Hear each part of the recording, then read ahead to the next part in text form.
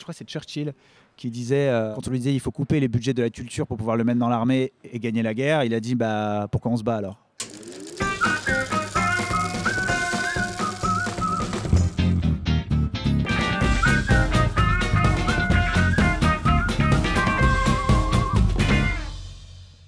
En fait, c'était il y a 8 ans, on a commencé à travailler sur ce film avec Sabrina Beccarin, la co-scénariste du film. Et euh, un jour est née cette idée de personnage qui peut prendre l'apparence d'autres personnes. Euh, et on s'est dit, bah, ça c'est pas cher, c'est plusieurs acteurs qui vont jouer le même rôle. Bon, ça c'était avant qu'on développe un peu plus. Quand j'ai reçu ça, j'ai tout de suite été emporté. Il n'y a pas de question, quoi. C'est on espère que euh, après le casting, je puisse être pris sur le rôle. Mais euh, voilà, elle est née d'une envie de faire vraiment du cinéma euh, tel qu'on l'a toujours rêvé, à forte influence américaine, mais du cinéma de Spielberg, de Zemkis, de, de, de, Cameron, en fait du cinéma de spectacle qui nous procure des émotions et qui, en plus de ça, a une dimension poétique qui fait que quand on ressort de la salle, on y réfléchit, on peut toucher un large public avec du drame, avec des histoires d'amour, avec du fantastique, avec du conte, avec du merveilleux. Et c'est un genre qui n'existe pas en France, qui n'existe plus en fait, parce qu'on en faisait avant. Ce que j'adore aussi chez Spielberg, c'est sa capacité à toucher un très large public.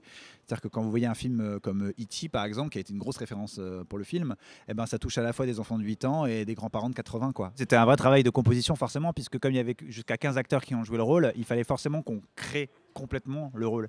Et euh, que ce soit Benjamin ou Martin, ils ont vraiment passé beaucoup de temps à le, à le, à le, composer, à savoir euh, comment Simon se présente au monde, euh, comment il se tient, comment il parle. On avait 40, 40 jours de tournage, je crois, on a 40 jours, et parfois Martin finissait la journée où je la finissais, on vivait ensemble dans la même maison, et il rentrait le soir ou je rentrais le soir, et on, se disait, bon alors là, la scène, je l'ai laissée un peu comme ça, reprends-la comme ça, et, à travers, on se faisait tout, notre chemin, quoi.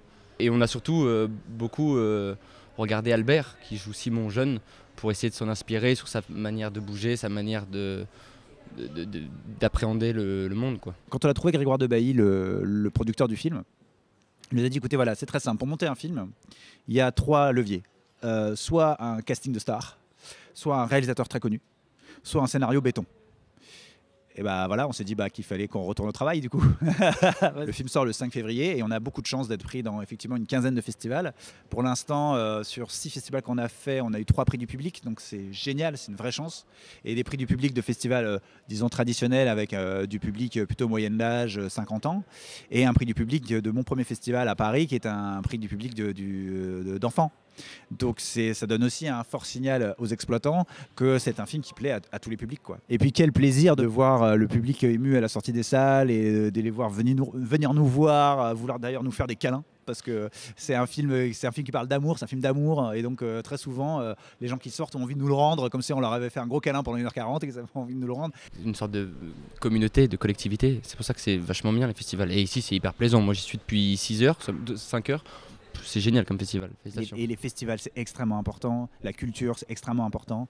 Dans ces temps où euh, tout est drastiquement coupé, où euh, les services publics sont de plus en plus maltraités. Je crois que c'est Churchill qui disait, euh, mais quand on lui disait il faut couper les budgets de la culture pour pouvoir le mettre dans l'armée et gagner la guerre, il a dit bah pourquoi on se bat alors?